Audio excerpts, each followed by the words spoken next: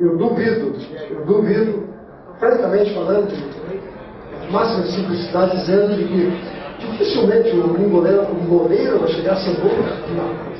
O que tinha possibilidade parou, que era o senhor. Ah, vestindo uma camisa só?